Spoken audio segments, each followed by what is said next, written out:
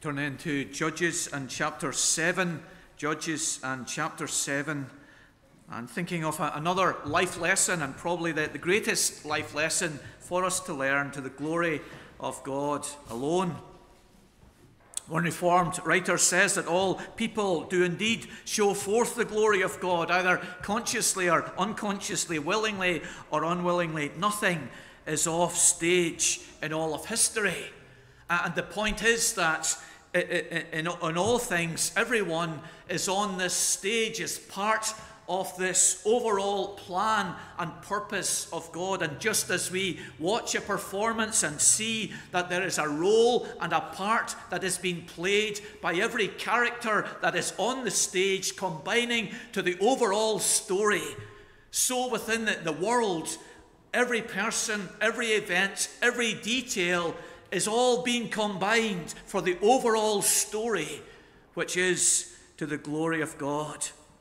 We do not always see the reasons and the connections as we view the dam bursting in Ukraine, uh, the 40,000 peoples who will have to be resettled as the waters stretch 37 miles away from the dam and influence towns, villages, and houses as we see homes being carried down and away by this torrent, we can ask, why is this happening? How does this belong to this overall purpose of God that all things are to his glory? But it is, and we trust this, and we look to God, and we believe that he is working out his eternal and wise purpose. This chapter reminds us of this in a very clear and definite fashion that God's purpose and God's actions, the, the, the, working out of his purpose, is to the glory of God. And what a lesson for us to, to, to live with, to, to help us in our mind and, and, and as we go through different experiences and as we view our world that everything is to the glory of God. We've been learning different lessons in this fascinating book of Judges, uh, stretching from the death of Joshua to the rise of Samuel, and including the book of Ruth set uh, within this time period. We've been thinking of life lessons such as reaping what we sow, thinking before we speak, a crooked stick drawing a straight line, and by the grace of God. We come to this further lesson to the glory of God alone. That in how we live, we are to seek to align our, our lifestyle with this overall drive of God, that all things are to His glory. Companies have mission statements uh, and they desire that their employees will adopt the mission statement. We speak of some people who have accomplished that as being company men. They are devoted to the company. They have imbibed the mission statement of the company. They are promoting the company in every way that they can. And it's that idea that's to characterize us here as we study this chapter. We will see how, in this specific instance, God engineers everything for His glory. And that overall purpose of God, we are to align ourselves with. That as a husband, as a father, as a wife, as a mother, as a child, as an employee, as an employer, as a citizen, we live for the glory of God. So there are three ways that we see here uh, that the glory of God is seen uh, in this incredible story. There's many more lessons to be learned from this story. We're just pulling out this one theme from it. In the size of the people, God is glorified. In the strength of the people, God is glorified. And in the sword of the people, God is glorified in this great story in, in Judges chapter 7. Let's think first of all of the, the size of the people. The size of the people begins uh, in verse number 3 uh, with 32,000. So, uh, Gideon was really encouraged by this response for his appeal to help to fight the Midianites, the Amalekites, and the people of the east who had come over the Jordan, as we learn in chapter 6, and they had settled in, in, in, in, Israel. In verse number 33 of chapter 6, all the Midianites, the Amalekites, the people of the east came together. They crossed the Jordan and encamped in the valley of Jezreel. The, the verses go on to say that the Spirit came on Gideon. He sounded the trumpet and he summoned people to come out to oppose this vast army. So here is Gideon, and there's 32,000 have responded to his call. He was the youngest in his family. He was little known up to this point, but yet 32,000 have, pledged their allegiance to him, to support him, and to follow him in this new venture. They have come from his own tribe of Manasseh, from the tribe of Naphtali, from the tribe of Asher, from the tribe of Zebulun. Verse number 35 of chapter 6 indicates. So, alongside of God's command to Gideon, alongside of the appearance of the angel of the Lord to Gideon and the miraculous sign which the angel made, alongside of the fleece being wet and then the fleece being dry, there is this added encouragement of 32,000 who are at his side, standing shoulder to shoulder with him against these invaders of his land. And just then, God says to him, That's, that's far too many people, Gideon.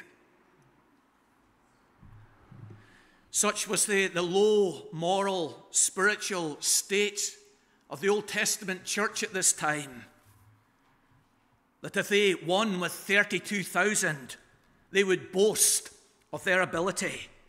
In verse 2, chapter 7, the people are too many, lest Israel boast over me, saying, My own hand has saved me. And so God says to Gideon that he should announce to this group of 32,000 whoever's afraid, go back home. Now, I don't know what Gideon would have thought about this. Would he have thought maybe a hundred will go back home? And maybe even a thousand would go back home. That would be, that'd be a terrible loss from this 32,000. But to his consternation, 22,000 head home. There is left with what was initially a, a wonderful encouragement to him deflated, weak, feeling his insufficiency. The word trembling uh, used in, uh, in this chapter is, is emphasized in verse number three. Whoever is fearful and trembling, let him return home and hurry away from Mount Gilead. The word Harod in verse number one Gideon and all the people were with him and rose early and encamped beside the spring of Harod. The Hebrew word for Harod and trembling is almost the same. And there is this, this relation as the, as the writer uh, records it. In this place of Harod, in this place of trembling, 22,000 trembled. There is this real emphasis on, on the trembling of the people and their return home. Perhaps we get a minuscule insight into this in the events that have been going on this weekend in the heart of Rishi Sunak. As three of his MPs have resigned Boris Johnson, Nadine Dorries, Nigel Adams. How's he feeling this weekend? Three people who, who were there in his party heading off now sparking a, an election in those local seats. Gideon feels it. Those who had come to support him, those who had responded to his call. It's a time of crisis, a time of need, a time of battle. But given the opportunity, two thirds of them fade away. And maybe for us, maybe for us, there's a correction to our thinking here. Sometimes we think that God can only be glorified in a growing church. The church has to be growing for God to be glorified. And we desire growth. We work for growth. We pray for growth. We delight in new people coming to our congregation. We want growth.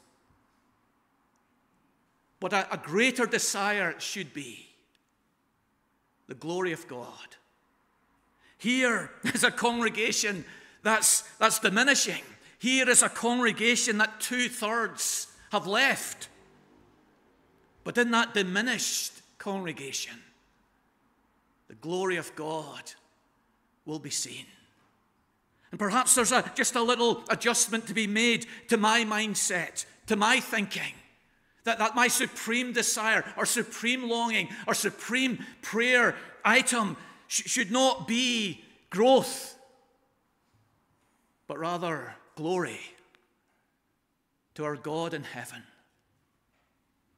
That if it pleases Him to grow our congregation, that will not be the be all and the end all of our aspiration, but rather that God will be glorified. And if it pleases Him to diminish our congregation, we will still trust and hope and long and pray that God will be glorified. Here is a congregation diminishing, but God is glorified in it. Glorified in the size of the people. Secondly, glorified in the strength of the people. Now, just as Gideon is recovering from the, the two thirds deserting him, God comes along and says to him in verse 4 the people are still too many. this has got to be hard to take, isn't it? This, this man, this is his first mission. Uh, well, it's, it's kind of second mission, his first public mission. And here God is, is taking away what, what we would naturally depend on people and, and their expertise and, and their ability. It's just been taken away. Every crutch is being removed from him, that God will be glorified in this. And perhaps we've experienced that in our life through an illness, through a relationship through an aspiration that we had. We have thought, well, if I get this, if I achieve this, I will glorify God. And those things that we've relied on and hoped for have just been taken away from us. And we're like Gideon at this very point. But the great comfort for us, the great assurance for us is that we can glorify God in that diminished circumstance and experience. And here it's happening for Gideon now. The 10,000 that remain, the 10,000 faithful, the 10,000 committed, the 10,000 who haven't gone with the crowd. There's still too many. And a test is, is initiated by God, by them, drinking from the local river. And I think for the first time in my life, I've understood actually what happens here. Some commentators say that the two ways that the soldiers drunk the water has absolutely no significance other than to distinguish the two groups. So the larger number of the, the soldiers, they knelt down and they, they scooped the water uh, up in their hands. The other small group of 300, uh, they were on their chests, lying flat on the ground, lapping up the water, the text says, like a dog. So some commentators say, well, there's nothing important about the, fashion eh, of this taking of the water. It's just to divide the numbers. And God chooses the smaller number. But I think the, the manner of taking in the water is significant. And it's significant so that God will be glorified. The soldiers kneeling at the side of the river, scooping the water into their mouths with their hands. They were sharp. They were alert. They were watchful. They were careful. There was this vast army set against them, and, and, and they, they, they were going to pay attention to, to what was going on here. They weren't going to be caught out in what they were doing. But the 300, they were more naive. They were weaker soldiers. They were totally consumed with slaking their thirst, and they were lying face down in the water, exposed to all the subtlety and schemes of the enemy. That was them that God chose. The 300 weaker, lesser, inexperienced soldiers through whom he would be glorified.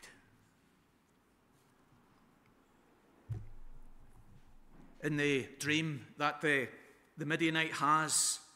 You, you see the, the, the, the, image that he sees. It's a, a cake of barley bread, a common, weak, ordinary item that lays the tent flat. Nothing flash, nothing spectacular, nothing uncommon. It's not a mountain, it's not a flood, it's not a rock. Just a cake, a solitary cake of barley bread. That's the 300. Weak, inexperienced, naive soldiers. The strength of the people. It was weak. It was small. It was inexperienced. But God is glorified in them. Maybe you're sitting there saying, well, you know, this, this 300, this talk of the 300, it's all relative, isn't it? How many were in the opposition army? Was there 5,000? Was there 200? How many were, were in that army? And, uh, uh, and the writer, he, he builds it up for us, doesn't he? You know, he starts in chapter 6 and he, he, he describes in verse number 33 all the Midianites and the Amalekites and the people of the east came together. And we begin to think, well, that's got to be a lot of people there. All, all of them have come across the Jordan River. And then at the start of chapter 7, we have this opportunity for those who are trembling to head home, and 22,000 leg it back to their tents. There's got to be some opposition there for these soldiers to, to want to go, go home at the first opportunity. And then we come to it in verse 12 of chapter 7. The writer takes his time. Gideon's going down to the camp, and he's, the Midianites, the Amalekites, and all the people of the east lay along the valley like locusts in abundance. And their camels were without number as the sand that is on the seashore in abundance. Who's going to fight them? Who are God's chosen soldiers that will take them on? This vast, unnumbered crowd. 300 inexperienced, naive, soldiers. 300 has been a, a, famous number within military history, hasn't it? The 300 Spartans who, who fought in 480 uh, BC alongside of the Greek army and fought to the death at the pass, fought against around 120,000 uh, Persian soldiers and, and then a local man uh, showing uh, the, the, the, Persian army a, a, a, path around to the back of the Spartan and, and Greek 7,000 soldiers. And those 300 brave and courageous warriors fighting to the death, making their last stand at that narrow pass. But these 300 are not like that. They have courage but they have an experience, a naivety, and yet they are the ones that God uses. Perhaps in the Christian church, as, as we think of our congregation and our denomination, these ratios are just the same. There's always a core of committed people. And in this case, the ratio is one to three. 22,000 go home, 10,000 remain. And perhaps within our denomination, and you can look at the minutes of synod if whenever they come out, those numbers of attendance and those numbers who are at the prayer meetings, it's often a ratio of one to three. 60 at the morning service, 20 at the midweek meeting. And it challenges us where would we be on that day? In Gideon's time and in Gideon's call. And where are we at this time? Are we among the trembling, the distracted, or are we among those who belong to that core, committed to fighting the Lord's battles in prayer and dedication with his people? But while sometimes that ratio really discourages us, this account greatly encourages us. For God uses the committed core, and He is glorified beyond all our expectations through that small band of committed people. The weakest, the less talented, can be greatly used by God to bring him glory. He's glorified in the size of the people, he's glorified in the strength of the people, and he's glorified through the sword of the people. Now, Gideon rocks up to this battle not with any conventional weapons, not with any catapults, cannons, nothing like that. He turns up at this battle with really unconventional weapons with torches, with jars, with trumpets.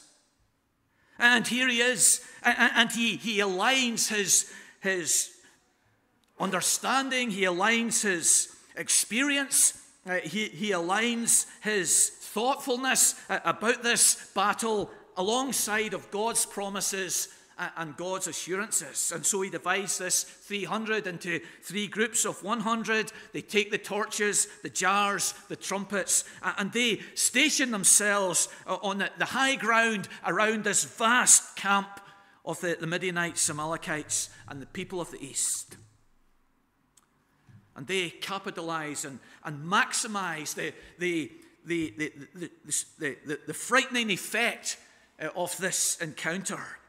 And so, at the middle watch, the text says, probably at midnight, when soldiers went off their shift tired and, and just longing to, to rest, and when soldiers were coming on their shift, uh, not yet settled in at that very moment of the changing of the guard uh, for this vast camp, that was the moment they chose to blow the trumpets to break the jars and hold up these torches uh, uh, as if it would appear there was a vast army surrounding them.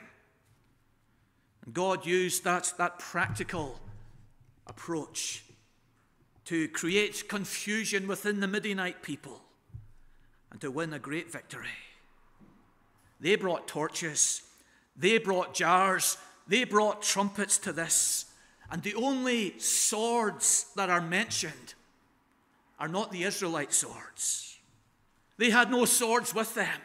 They had jars and torches and trumpets. There are swords mentioned in this battle, but they're not Israelite swords. In verse 20, it's the sword of the Lord. He's the warrior, He's the champion.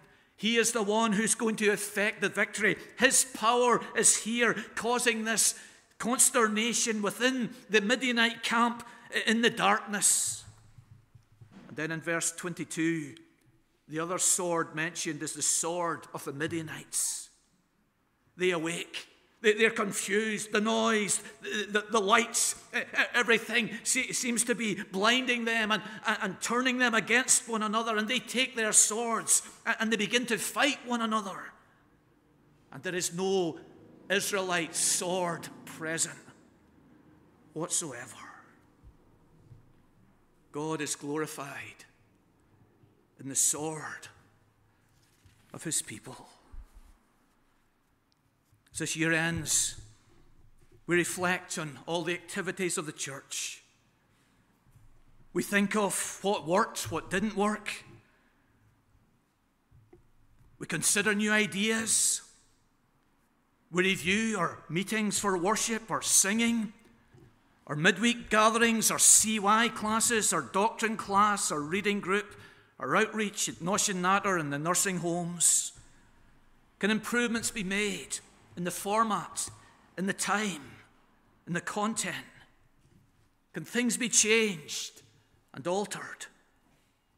But alongside that, above that, we desire God's working, God's glory, God's power to be coming. Gideon and the 300 soldiers were small, insignificant, but it was God's power that effected that great working. Gideon brought alongside his scheme, his plan, his approach, and God's great power effected the victory. What a life lesson for us then to the glory of God in the size of His people.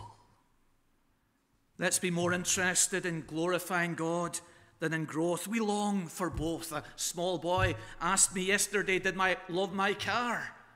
And I, in the spur of the moment, said, Yes, I, lo- I couldn't deny it. I love my car, but I love my God more.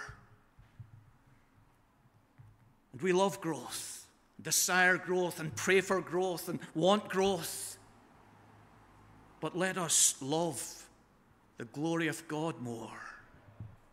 Reverent worship, faithful preaching, and godly lives. Let God be glorified among us. In the strength of his people.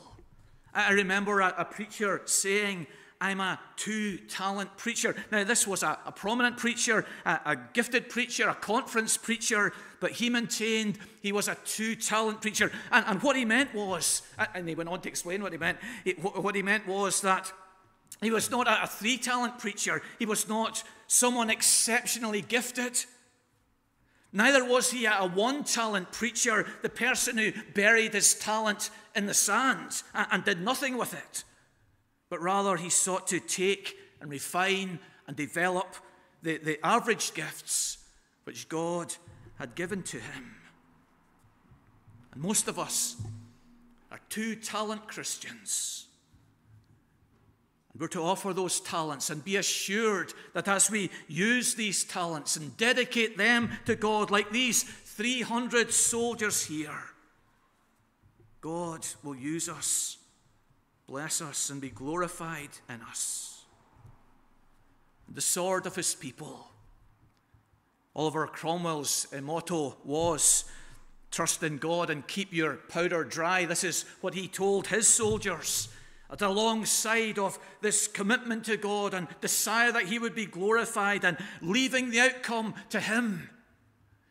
Just pay attention to your cannon fodder there and make sure it's not, it's not damp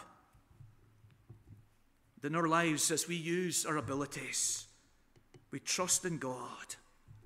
We witness but except a man be born from above, he cannot enter the kingdom of God. We witness, but except the Lord give the increase, we labor in vain. Alongside of our plans and schemes and hopes and aspirations, we look to God for His blessing for his working. The Reformation adopted this motto, didn't they? To the glory of God alone. In their church order, in their church standards, in their practice, in their lives, in their doctrine, they sought the glory of God alone. What a thing it would be for all of us to adopt it afresh Lord, help me to align my life, my aspirations, my values with your overarching purpose to the glory of God alone.